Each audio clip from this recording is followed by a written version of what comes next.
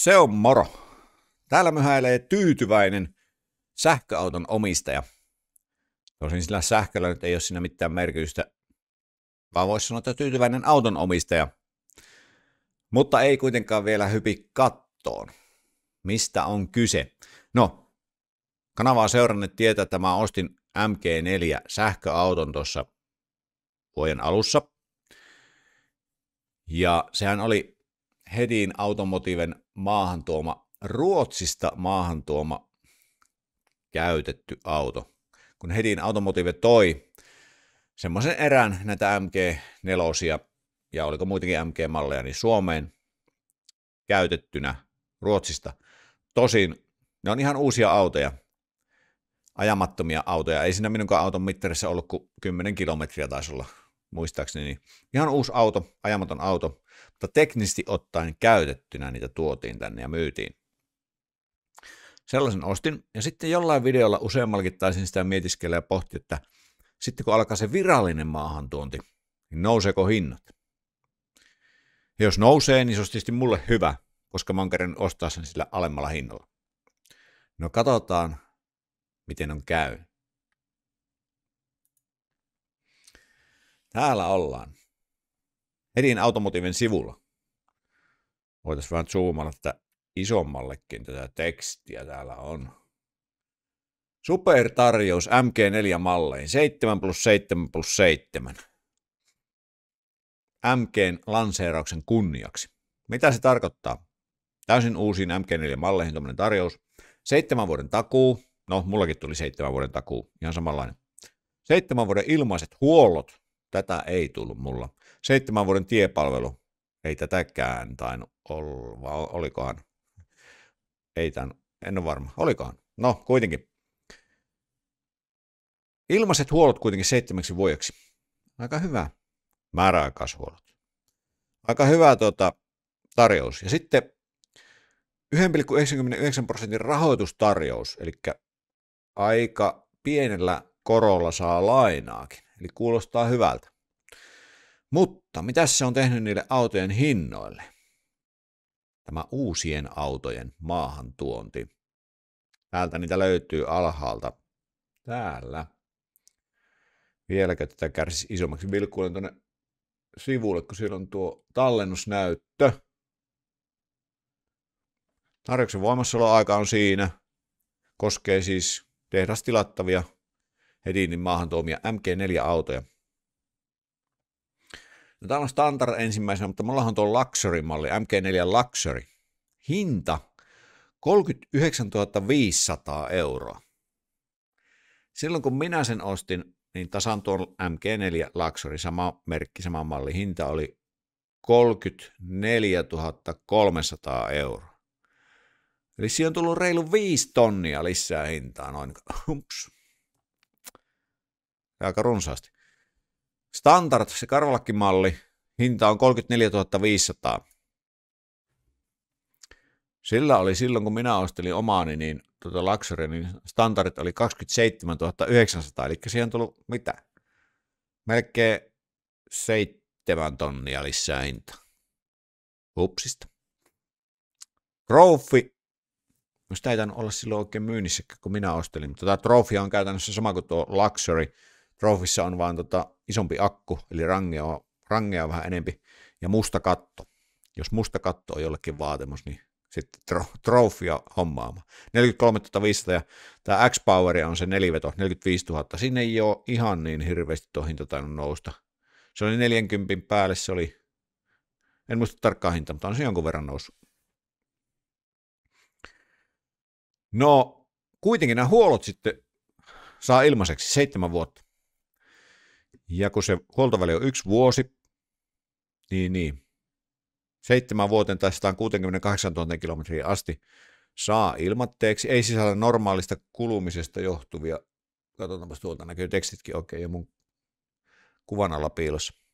Ei sisällä normaalista kulumisesta johtuvia korjauskustannuksia, vaan määräaikaishuollot. No jos ajatellaan, että sen saa sen seitsemän kertaa huolattaa määräaikaishuollon, niin paljonko on tämmöisen määräaikaisuolon hinta tällä autolla. En tiedä, kun en ole vielä, ei ole tarvinnut käyttää itse, mutta korjatkaa, tarkentakaa te, jotka tiedätte. Se, olisiko joku parisataa. Jos se seitsemän kertaa saa tehdä, niin se on 1400. Sen siinä säästää, mutta ei siis toki läheskään säästä sitä erotusta, mitä nämä hinnankorotukset on tuoneet. No sitten, miksi en vielä hypi kattoon? niin. Nää, niitähän Ruotsista tuotuja käytettyjä, jotka on siis ihan uusia autoja, on edelleen myynnissä. Hedinilläkin. Standardimalli, tasan samalla hinnalla edelleen, 27 900. Toki rahoitusetu ei ole ihan niin hyvää, 3,99 prosenttia, eli jos lainarahalla maksaa niin, ja maksaa sopimuskauden mukaisesti, niin siinä joutuu maksaa vähän enemmän sitten. Vuosimalli 23, ajatut kilometrit 1, eli ihan uusi autohan tämä on.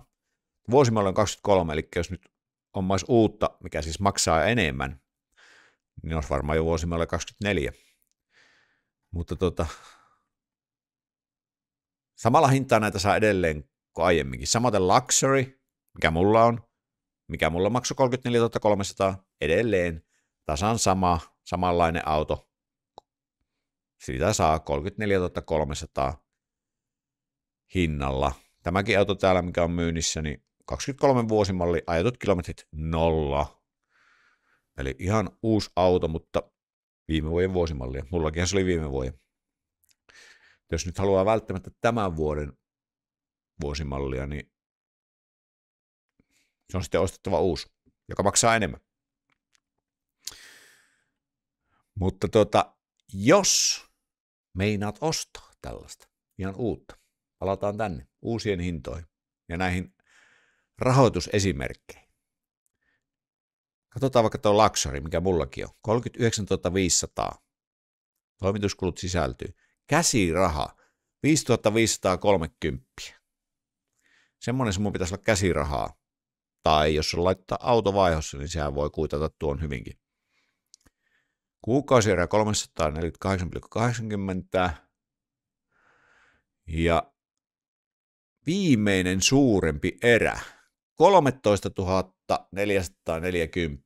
Tämmöinen on aika yleinen näissä lainoissa. Se viimeinen erä on suurempi ja se on aika kova, 13 440. Toki jos sinne laittaa tämän auton vaihossa, niin sillähän sitä pystyy kuittaan ehkä jopa kokonaankin. Mutta tota, mulla on ainakin tapana ollut maksella lainat kokonaan auto pois ja pitää vielä senkin jälkeen useampikin vuosi. Ja mullakin on tässä omassa autolainassani viimeinen suurempi erä.